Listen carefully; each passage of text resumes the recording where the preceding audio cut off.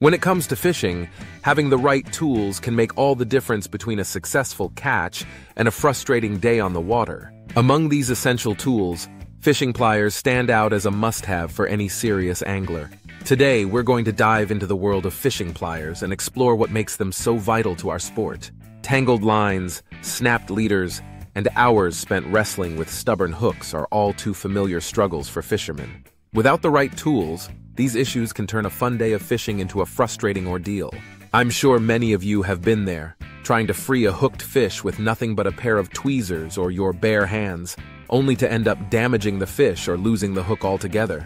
We've all been there, struggling to untangle a knot that seems to have a life of its own, wasting precious time that could be spent catching fish. And when you finally manage to remove the hook, you're left with a mess of twisted metal and a hand cramping from the effort. But that's not all. The wrong tools can also lead to injury, whether it's a punctured hand or a lost finger.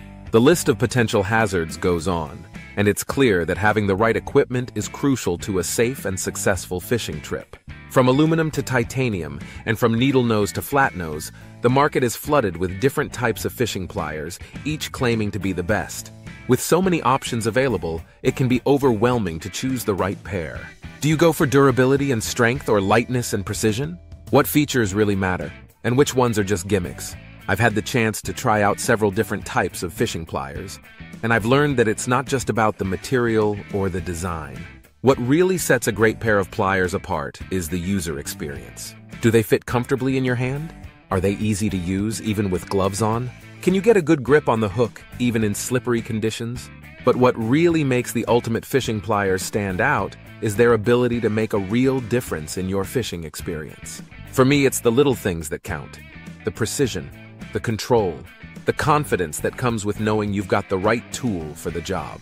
I've found that the right pair of fishing pliers can mean the difference between landing a trophy catch and losing it to a broken line or a misplaced hook.